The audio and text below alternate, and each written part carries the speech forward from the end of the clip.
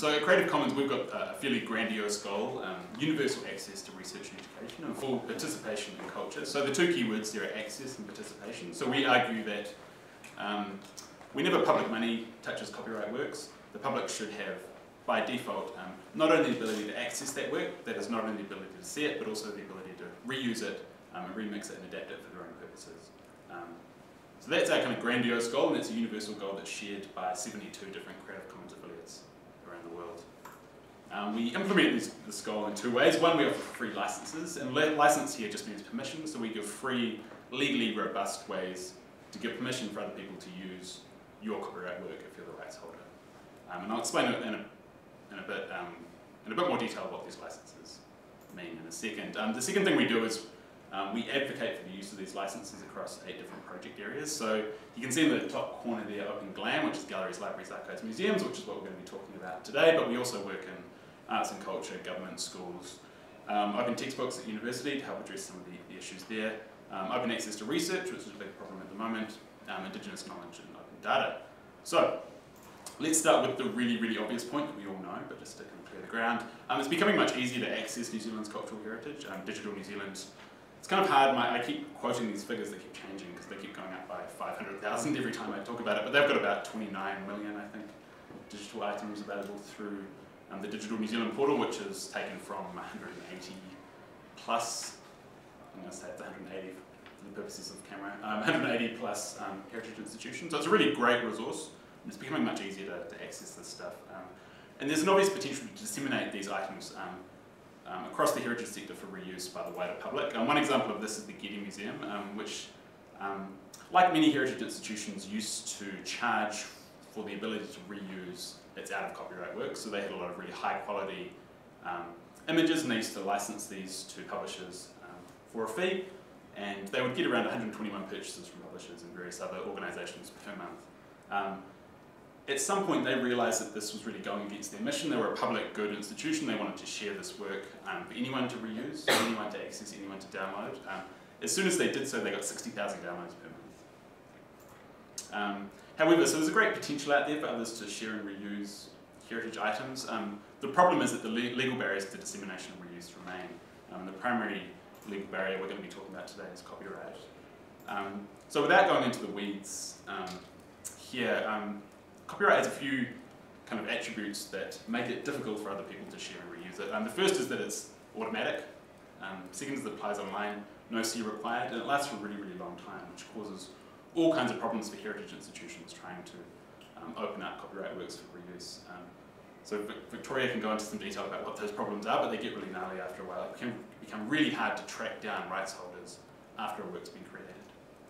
Um, and the, the first point there is also important um, is that copyright is more restrictive than most people realise. So I work with a lot of teachers, and teachers often assume that because they're educators and doing kind of a public good job, they can do whatever they want with copyright works, and that's not at all the case.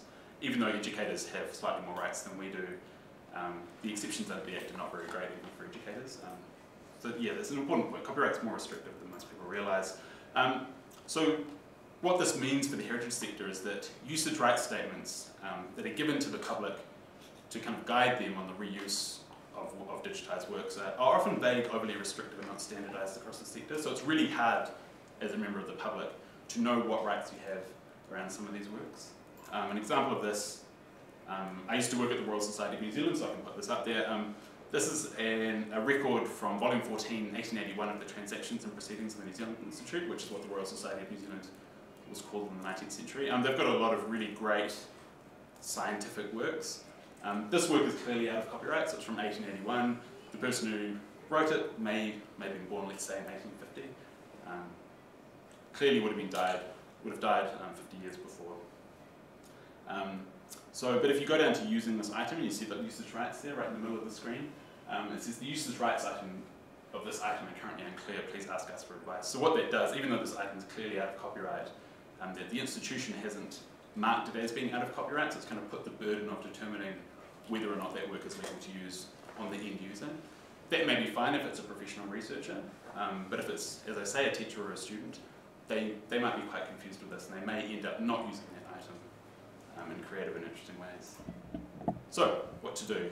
Um, the guy from Creative Commons is obviously going to be advocating for some use of Creative Commons, right? Um, so what we, we advocate is starting from the other direction. So instead of starting from a position of closed and opening up a few items as you go, we argue that the default really should be open and you should be making really good arguments for works to be closed. Um, so we've got a few different recommendations. The first is clearly mark out of copyright works as such, like the item I talked about before, that's really clearly out of copyright, there's no risk involved here. Um, why not make those works, uh, mark those works rather as clearly out of copyright so the end user has some clarity. Um, second, we um, are advocating that CC licensing for works um, with CC-friendly donors. So if someone's giving you stuff and that person is friendly towards Creative Commons or doesn't have any objections to the use of Creative Commons, um, let's try and ensure that those works are CC licensed from the get-go so you don't have all kinds of problems 50, 70, 100 years down the track. Um, so the way to do this is add CC um, option to, to, the deposit agreements, or the donor agreements. Um, an example of this is from Upper Hutt City Library, um, from a photographer Ravel Jackson, who's, I think about 97, but he deposited about 30,000 really high quality images of um, events from like 1960 to 1990. So works that would be um, under copyright. Um, but he was kind of um, thought that the public should be able to um, share and reuse these works without the library or himself putting any additional barriers on. So he agreed for the works to be licensed under a, a CC BY non-commercial license, which I'll explain in a second what that means. Um, but the kind of upshot of that is that if you're interested in Upper history, you've got this really, really great quality resource that's publicly available for free without any price or technical restrictions and a very minimal legal restriction for attribution and commercial reuse. And the third thing we recommend is that works for which the institution holds copyright, they should be CC licensed in advance. A lot of our heritage institutions are publicly funded, therefore the works, the copyright works produced by those institutions should be CC licensed, again by default. There might be a good reason why some of those works shouldn't be, but by default we say um, CC licensing should be used. So, I've talked a wee bit about the recommendations for Creative Commons licensing, but I haven't actually told you what Creative Commons licensing is, so let's do that before I finish up. Um, so the pitch for using CC licensing is that they're clear, simple, free, legally robust, and they let you keep your copyright. Um, so you're not giving away your copyright when you use a CC license. You're licensing away certain rights um, for other people. Um, so if you imagine the public domain on the one hand, and all rights reserved copyright on the other, we kind of give you a range of options in the middle. So it's not just an on or off switch. It's a range of kind of we can you can do this, but you can't do that.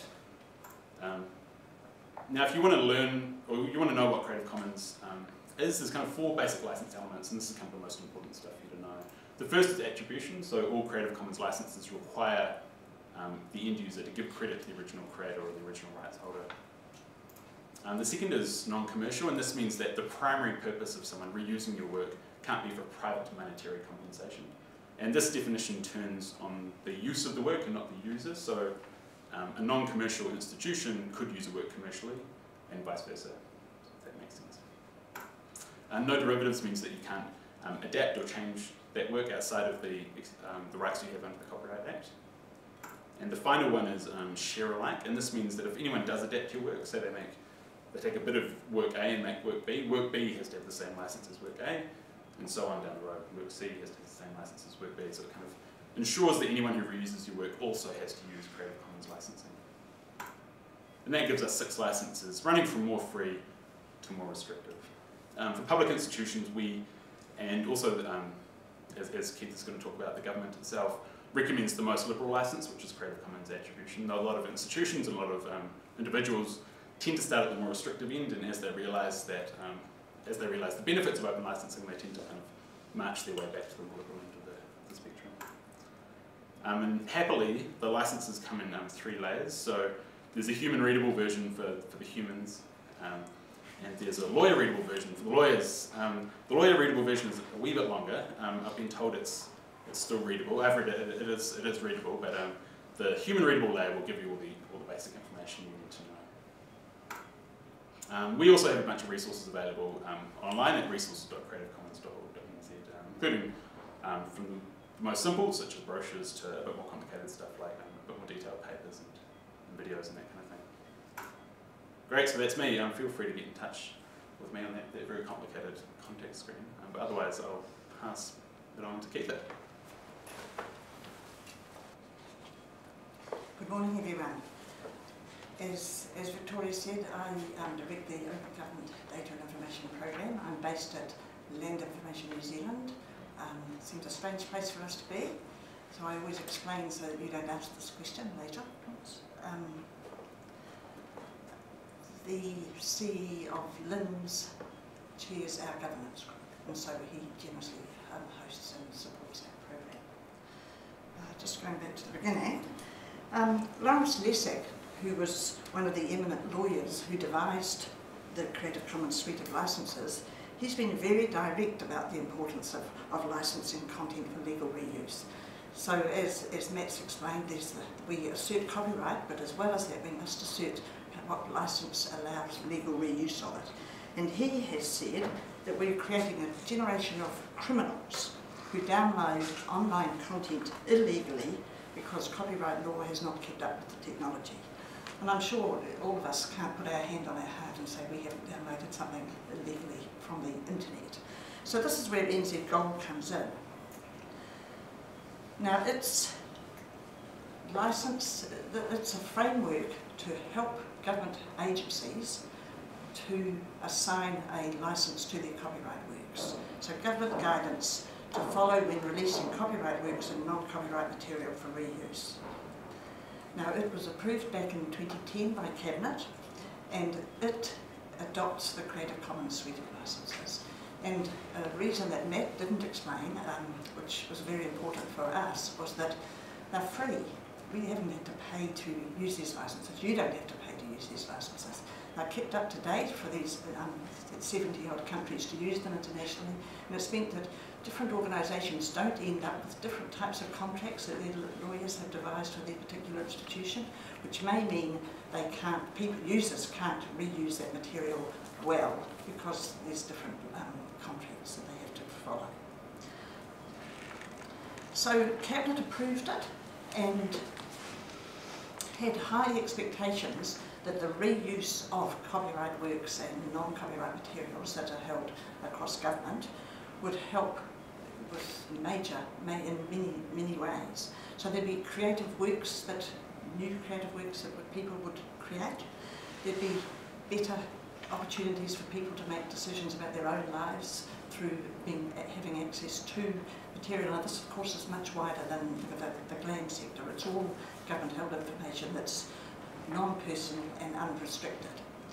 There'd be opportunities for businesses to create new tools, products, new, new business, new revenue back to government in the form of taxation. And better opportunities for uh, sustaining the environment through better information about it. And on the, on the sort of civil side, better opportunity for um, working with government to write better policy and to engage democratically. And of course government agencies themselves will be more efficient when they use their own material rather than creating it again. So that's the really high level expectations for NZGOAL and also a couple of other policies that were approved at the same time, which I'll just refer to at the very end. So Cabinet gave it a wide mandate. Government departments were directed to familiarise themselves, themselves with the um, framework and apply it when releasing their copyright works and their non-copyright materials for reuse. So examples there are Ministry for Cultural Heritage, National Library, Archives and under the DIA um, uh, responsibility and of course all other government departments. The, the rest of the state services were encouraged and that's where Crown entities such as Te Papa and Heritage New Zealand come in. You're not directed to familiarise yourself with it and apply it to your copyright works, non-copyright materials, but you are encouraged to do so.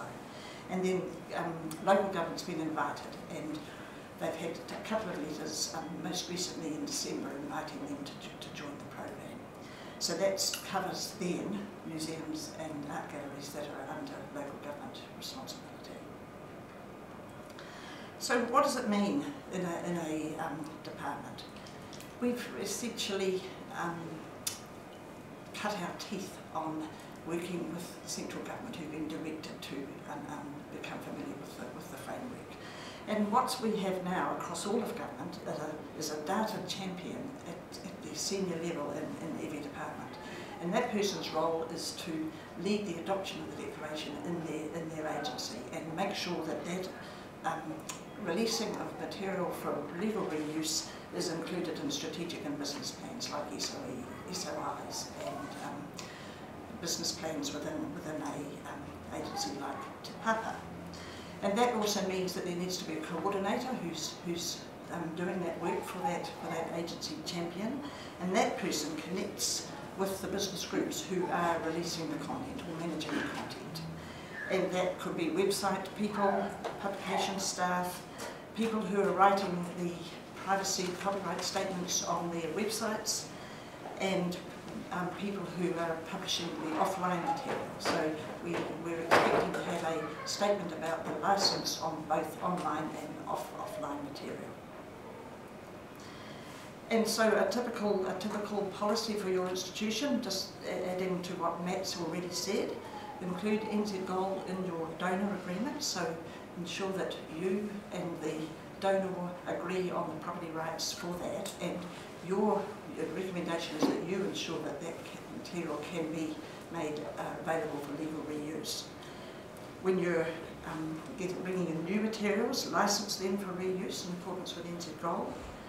Uh, develop a process when you're doing your, your retrospective work for working with existing copyright owners and get their permission for legal reuse. Victoria asked for someone the other day who'd had a call from you about a work here. she was asking me what I did and I explained it well enough for her to say, yes, I know exactly what you're talking about and I've just said yes to the Victoria Leachman. so that was cool. And then where you've got all your orphan works, to draw up a policy and a procedure for how you work through those. And in that case, you may end up with a non-known non rights statement. So that moves to the licenses. Government has approved the default license, the CC BY, and essentially it says if it's a copyright work, you're licensed to um, um, reuse it. You then, the owner of the, of the, of the item, assign a CC BY license, but before you do that, look at the, there's a list of restrictions in NZ Gold. Look at those and see whether there is a reason for needing to restrict it in your organisation. And also for copyright materials, go through a similar process and, and put a no known right statement on the material. Now, the eagle-eyed people there will notice that I've noted the Creative Commons Attribution 4.0 license. NZGOAL was, um, version 2 was released last week, 20th of April, and that has moved um, our, our recommendation from CC3 licenses to the new CC4 licenses. Now, don't panic if you have heaps of work in your organisation that's licensed under a CC3 licence, that's perfectly fine. You don't need to do any retrospective work. But in the future, we're recommending you, you use the CC 4.0 international licence. So, more information about all of this is up on ict.gov.nz. That gives you details about those different licenses if that's something that's of interest to you that one of the most important changes is that it's easier to, to attribute the, um, for users to attribute the copyright um, license. And if you want to talk to me about any further training, we offer training on NZ Gold. You see my details there. And of course, there's lots of conversations on Twitter if you want to do contribute to Twitter conversation. There's a hashtag, um, hashtag open data. Thank you. Um, welcome everyone to the Creative Commons Aotearoa New Zealand Glam Road Trip 2015 Te Papa session. Te Papa uses works by others that have Creative Commons licenses. Uh, one of my training sessions for staff here is to show them how to use an advanced search in Flickr to find Creative Commons licensed images such as this one. Uh, just like anyone else, staff want to reuse um, images they found on the internet and I've always tried to make sure that Te Papa staff reuse only those images where they have the correct permissions to do so. Creative Commons licensing really helps us with that. Um, staff are always on the hunt for good quality free images and some Creative Commons licenses allow for open reuse which is really helpful for us. But it's not just sourced from other people. Te Papa also uses other types of Creative Commons licensed content. Uh, I personally think one of the more interesting developments is how we're starting to use platforms that encourage Creative Commons licensing when we're developing exhibitions in partnership with particular sections of the society. The recent declassified exhibition features work of the Te Papa's natural history um, scientists. The online part of the exhibition encourages the public to lodge images of spiders and ferns into the Nature Watch New Zealand website or phone app for Te Papa staff to identify. If the contributor licenses the images, image with um, a Creative Commons license, the image is up for selection to appear in the exhibition. There's an iPad that gets updated with new images regularly. We initially dipped our toe into Creative Commons licensing with our own content in 2008. We developed podcasts for the Rita Angus Life and Vision exhibition. Now the whole point of podcasts is obviously so that people download and play them, and we wanted to encourage people to do so. But uh, the Creative Commons licensing had an unanticipated benefit for us uh, when we were touring the exhibition. Other venues wanted to reuse these podcasts for their own events and on their own websites, and we didn't have to go and, uh, and I didn't have to spend time drawing up a license to allow them to do so. I could just point them in the direction of the website and say, hey, they're there, they're Creative Commons licensed, go for it, download and use them. We've also released some text documents with Creative Commons licenses, um, particularly those documents we want people to share and reuse. National Services Te Paerangi are adding Creative Commons licensing to resource guides as they roll them out to, um, with each new edition. The new edition allows the team to check any licensing of third-party material and make sure that it's completed on the understanding that the resource will be Creative Commons licensed. And here, of course, is my opportunity to plug National Services' new edition of the Copyright Resource Guide, and it's downloadable as a PDF from the National Services section of the Te website. But if you're into counting numbers, uh, the project with the most use of Creative Commons licensing is our download project.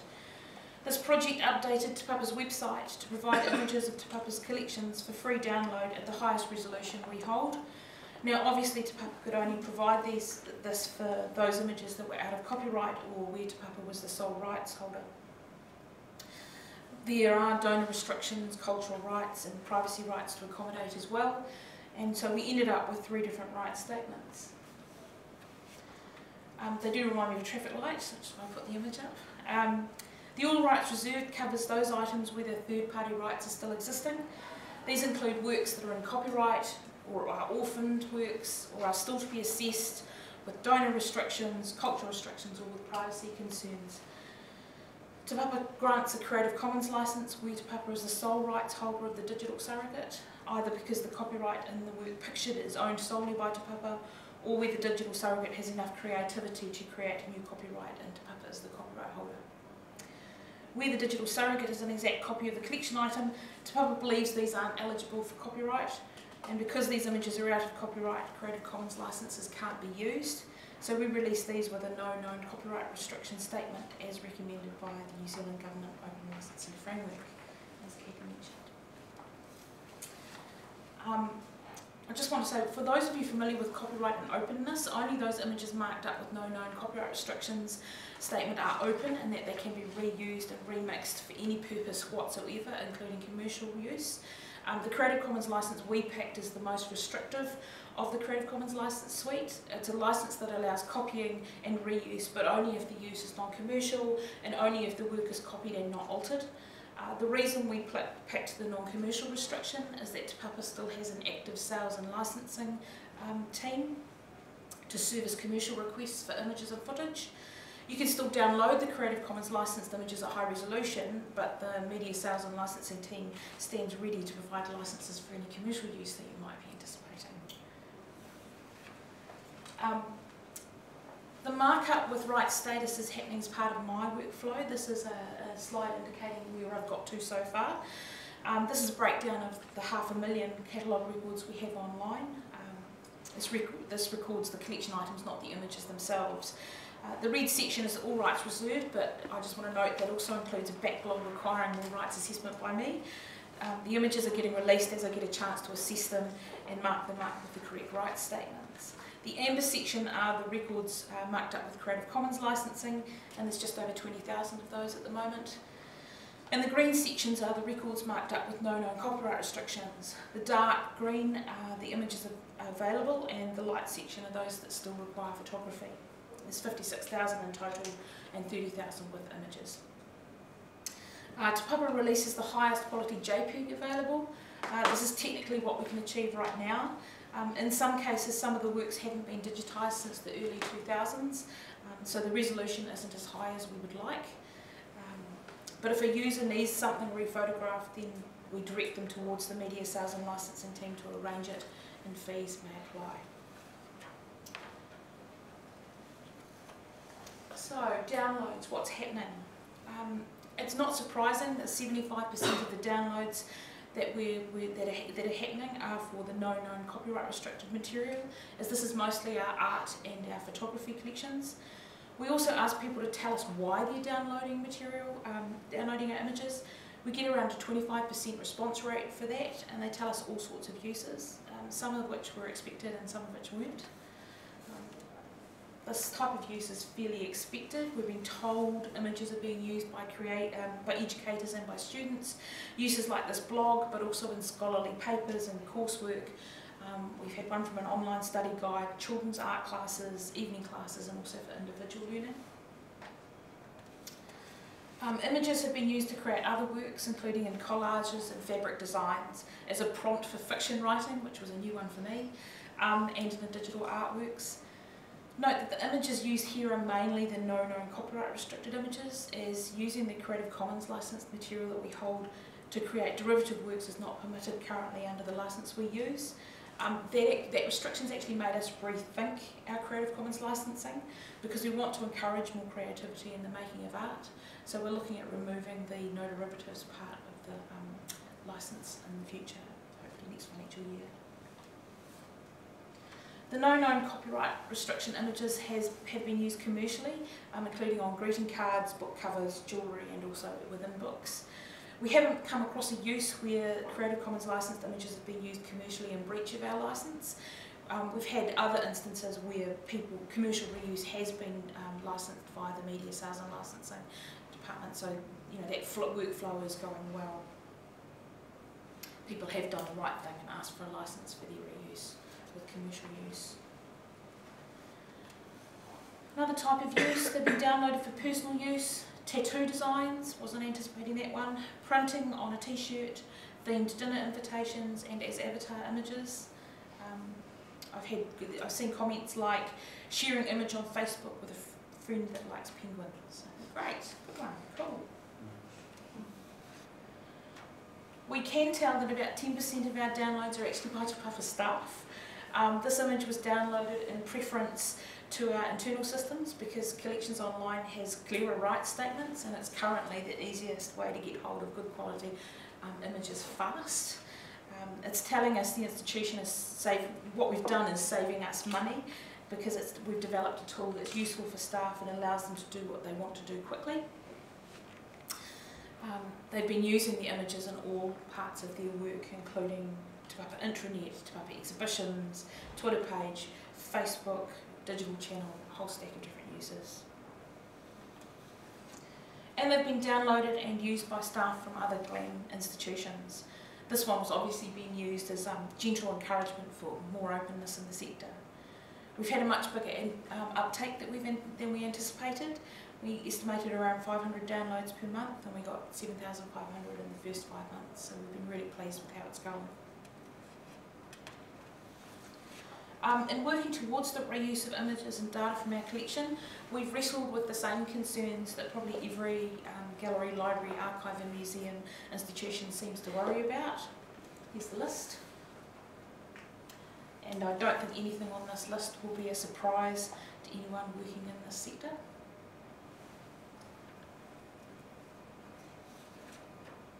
So here's what we did. Of the six concerns here, we've solved a few and we're still working through a few as well. Concerns have, the concerns we hold haven't stopped us releasing images, just the release of those particular images where the concern um, exists. An example of this for us are our Taonga Māori collections. With the Wai 262 Waitangi Tribunal case still to be responded to by the Crown, Te Papa still needs to think through how it's going to handle reuse of images of Taonga Māori and images of Tupuna. So those collection items are currently not included in our download project and remain under the All Rights Reserve statement. Um, as I said, the integrity of the work, the derogatory use concern is interesting. Um, this influenced us to pick, pick the no derivatives licence, um, but we're starting to understand that the digital surrogate of a work isn't the work itself, isn't the original work. We're also recognising that the no derivatives is currently preventing people from remixing our Creative Commons licensed works, and now we're looking at removing the no derivatives off the licence to allow derivative works to be created.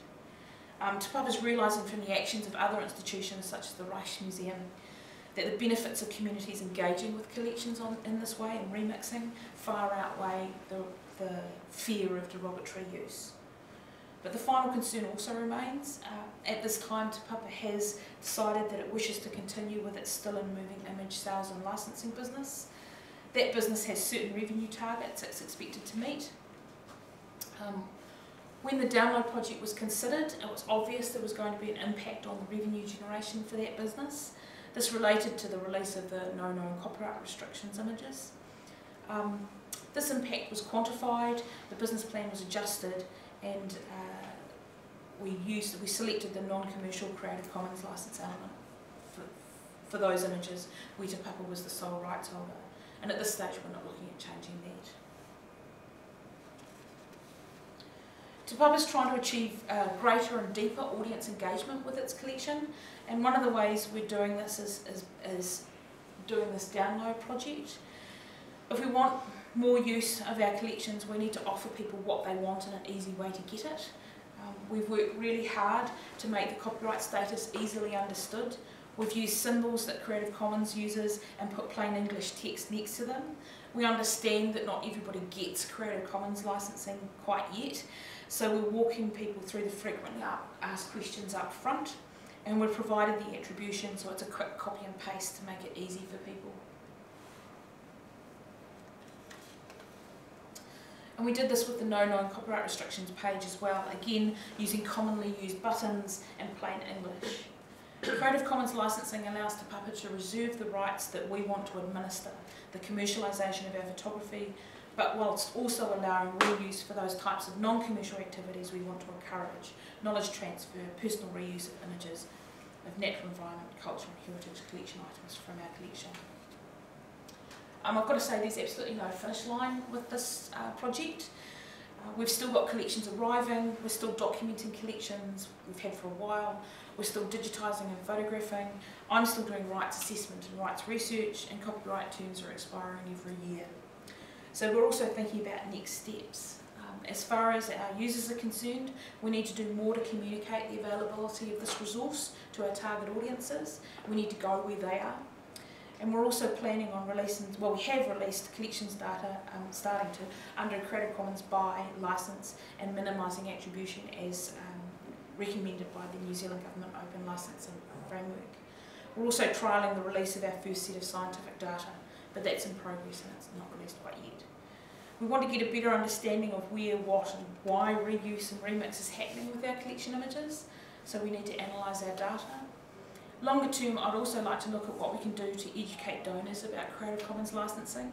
Creative Commons has helped out by developing an information sheet for donors, and it's something we're looking at adding into our process.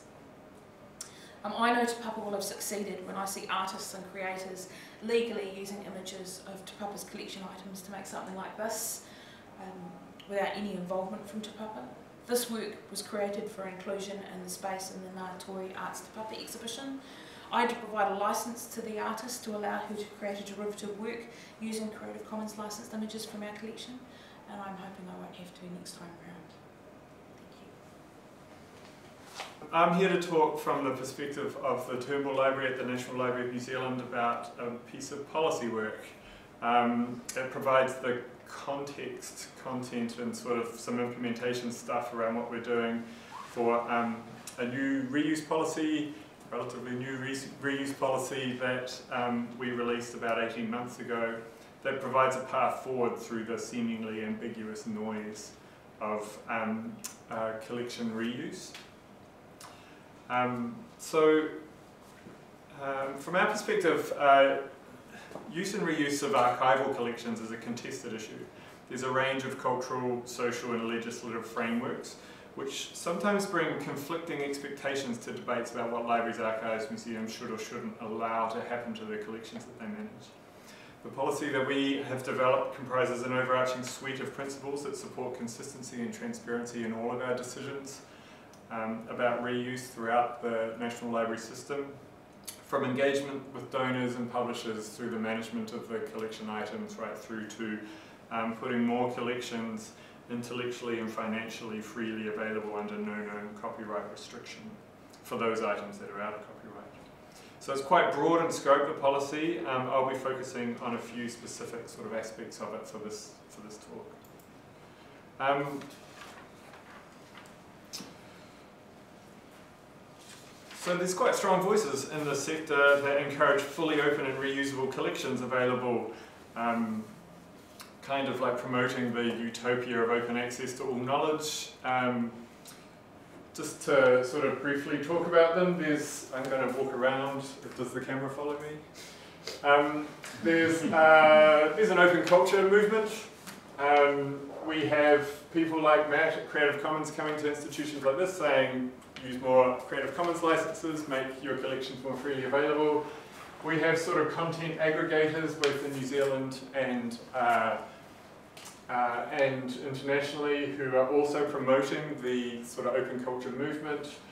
Um, uh, in New Zealand, we have the government saying to us as a central government agency, um, make your collections more open, make your data more open, use Creative Commons licensing.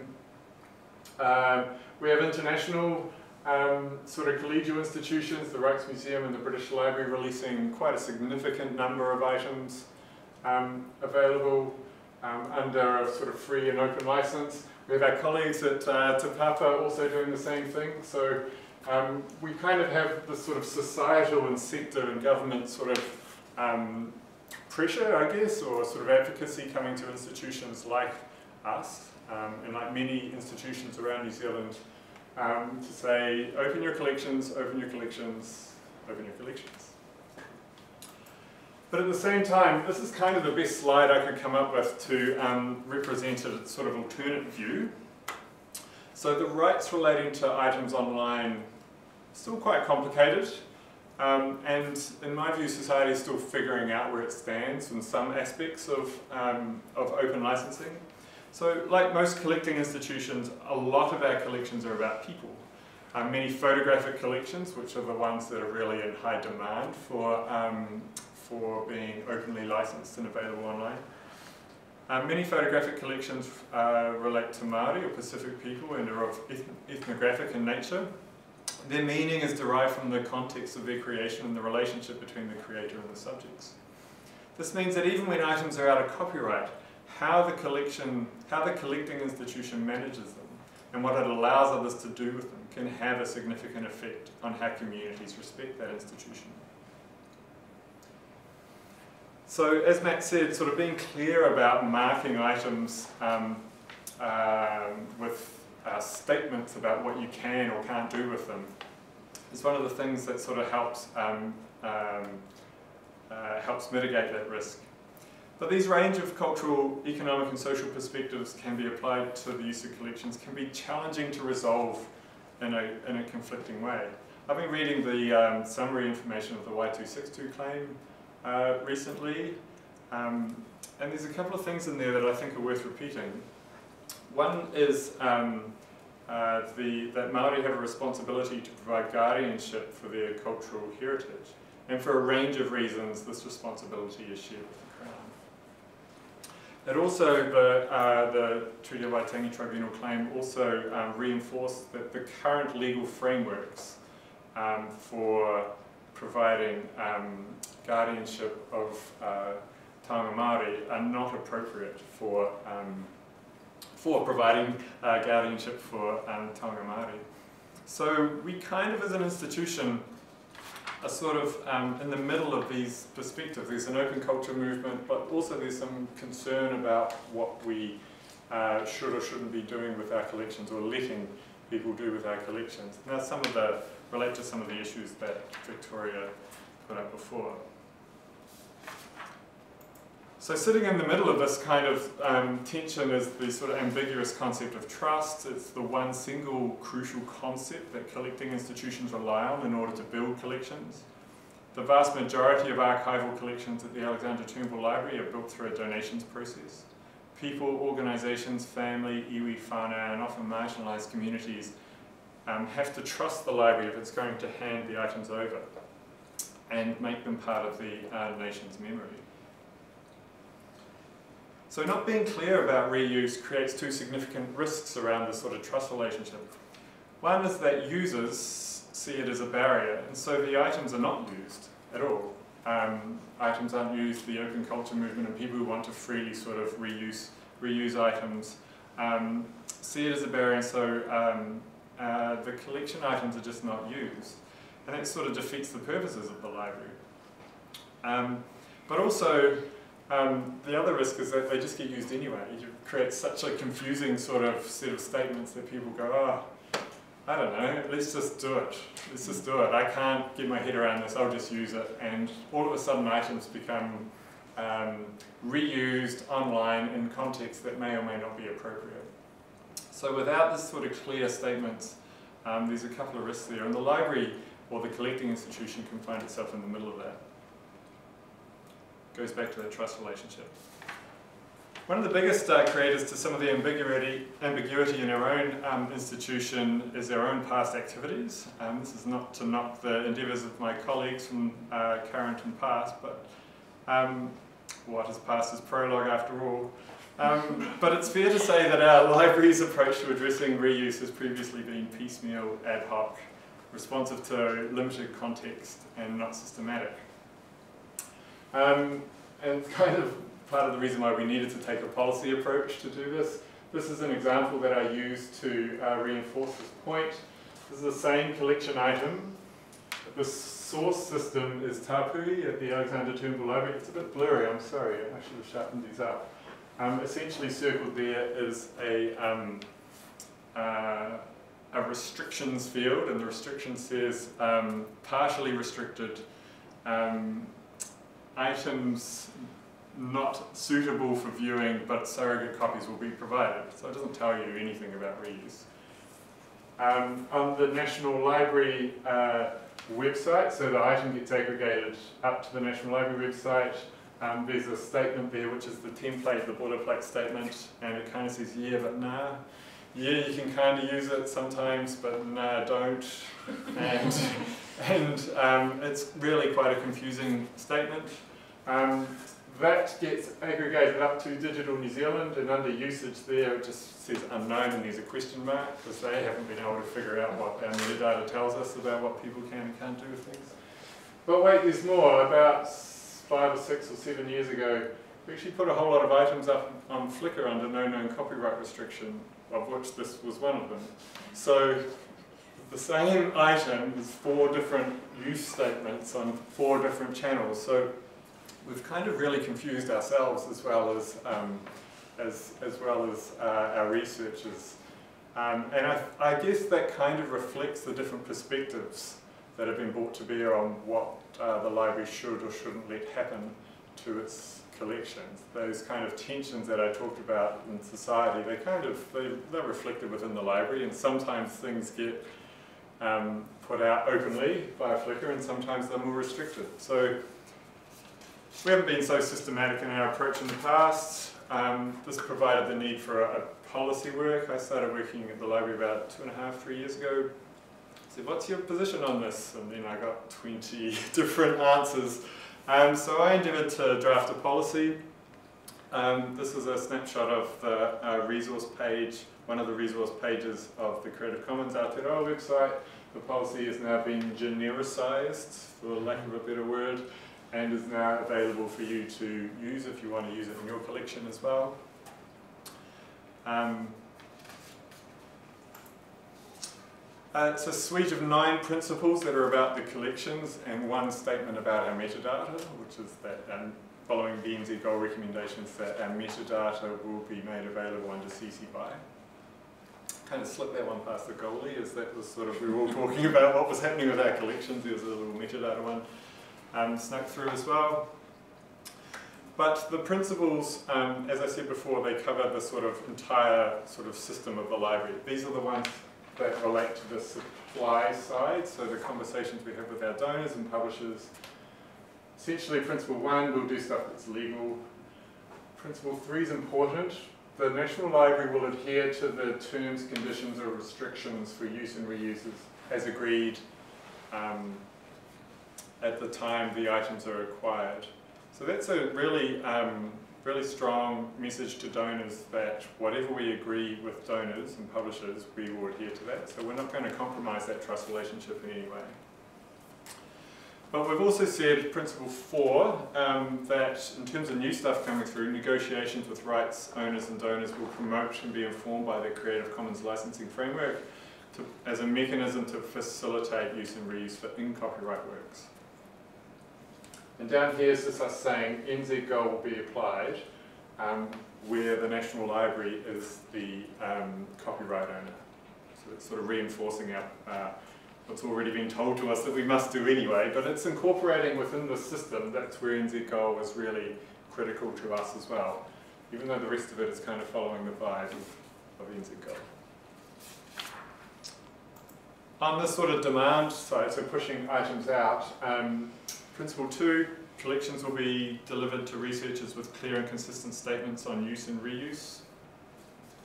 Um, clearly, given the example that I said before, uh, that I showed before, it's an aspirational policy. It's not a, it's aspirational principle. It's not a current state at all. But it's a really important thing for us to um, bring to bear to all the conversations that we have every time we talk about what's going to happen to these collection items. Clear and consistent statements clear and consistent statements. Clear and consistent statements. Um, and this is the other one I'm just going to talk about from now on, um, or just reinforce now. Where no known copyright, where no copyright restriction applies, the library will seek to provide items for use and reuse with a statement of no known copyright restriction, comma, after careful consideration of cultural and ethical issues. So that's us saying we've got a place we want to be, we want to push as much stuff out as possible, but we still want the right to be able to say, we're a little bit uncomfortable um, uh, with putting that out for anybody to do whatever they want with because there's, um, there's taonga Māori or there's other sort of cultural considerations or other ethical considerations for us. So what are we doing about it? Um, just really briefly on that supply side, we had a, um, a donation review, a review of our donation process. We've drafted a new um, donor agreement, or a deed of gift, as, it, as it's going to be called. It's incorporating some tick boxes for Creative Commons licensing if people choose to do that. Um, so that right at the supply side, we haven't quite finalised that yet, it's with the lawyers, but from the supply side we're looking to sort of make the rights clear right from the start. Um, we also worked with um, Matt and the Creative Commons team around um, that guideline for um, Creative Commons licensing for donors and depositors to cultural heritage institutions. And that's just designed to help and support the um, good conversations to be had with donors. Um, conversations with donors are complicated, they are often emotional if people are giving over their sort of family items. So this is sort of using, using uh, a clear deed of gift and um, a, a, clear guideline will just help facilitate those conversations.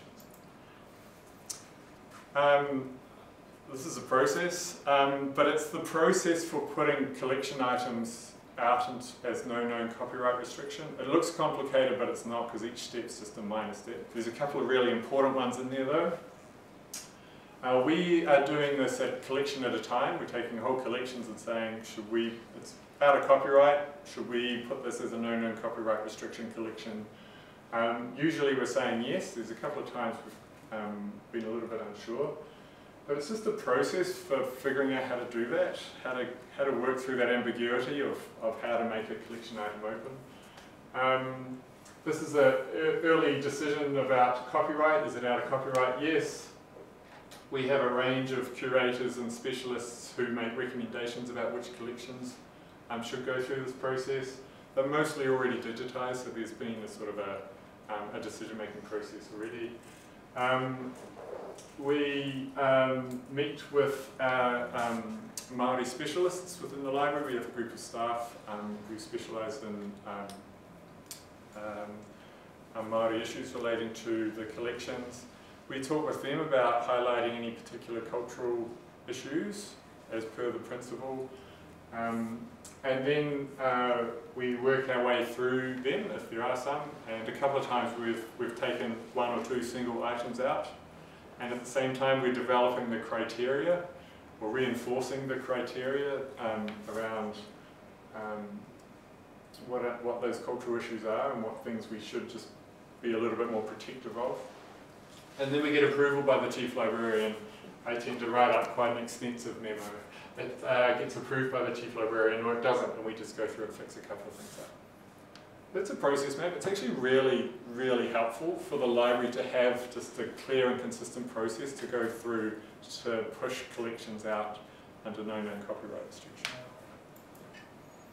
And finally, um, on that sort of note of um, uh, the sort of uh, wanting to be a little bit, wanting to be careful of uh, Māori, uh, we are um, working with Creative Commons and a range of people who um, are looking to develop an Indigenous knowledge notice.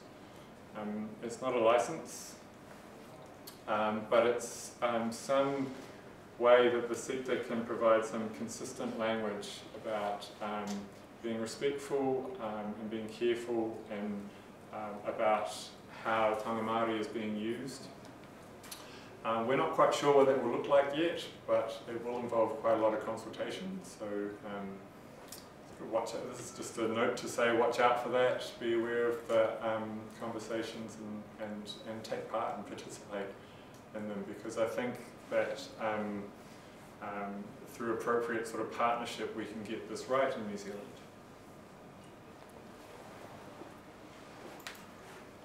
That's me. Thank you very much. And that's us. Does anybody have any questions? It's not just me standing up in front of the camera for questions, I think. Uh,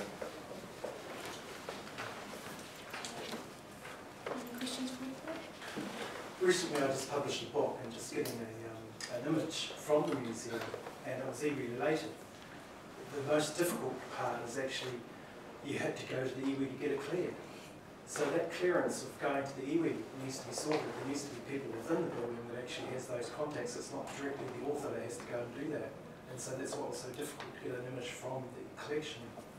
The difficulty with that one is that um, the reason we, the reason Te Papa makes people talk about that directly is that we don't necessarily feel we're the best advocates for the projects that the people approaching us about. So um, yes, I understand that there's, there's certainly a significant amount of extra investment and work you have to do when you're when you're developing a product such as a book or or exhibition or whatever, but it's Te Papa's not really resourced A to, to do that work on behalf of the person with the project. And second of all they're um, they they're not necessarily the best people to talk about you know individual projects when we have questions about how that image is particularly being used. I think sometimes we do want to have direct contact with the person. Yeah. Yeah. We found that. Yeah. Um, yeah, and I, I guess the role of the institution there also is to be clear about who and how Mm. to, to make those contact. You know, who to go to, um, an, an, email address, a phone number, a name of one or two or three or four people uh, to contact. To contact, and I think that through this process, those sort of um, those processes will come clear. So through the, you know, us working with Te Papa and sort of being relatively consistent in our approach, even though you've gone and just done the work and we've put a policy in place yes, and then yeah. are doing the work, um, I think if we're consistent across the sector about how we make that happen, that will help researchers. Mm. Um, I'd say the library at the moment, we just kind of push, we just say, you know, we, we push that responsibility off and we don't really provide that clear that much clear information about what to do next. So I think there'll be a bit of work to make that happen as well. And I agree with, with Barbara's point. We, there are some iwi that tell us they do want to be contacted, they want to be the conduits um, for that, that permissions process. Yeah, and that's that kind of the, the library's in the middle here, you know, and um, we do have responsibilities um, under the treaty um, to work in partnership, and that's kind of how that partnership's manifesting. And in terms of our, our um, taonga Māori collection and our images of Tupuna and taonga, we're still, I mean, we're still working that out. We, you're further along than we are in terms of process. Um, yeah, we've still got work to do. We'll be focusing on the easy stuff. Uh, if I can just add something about the um, NZ Gold Development Open Access and Licensing Framework, I skimmed through it. It's based on policy principles as well, which have been picked up by, by other institutions. And with respect to, to um, Māori and in- Indigenous information, that's uh, listed as two of the potential reasons for restricting um, reuse of of material. So you're really picking up on that and taking that to the next stages. So thank you. Hmm. Okay, well, thank you very much for coming.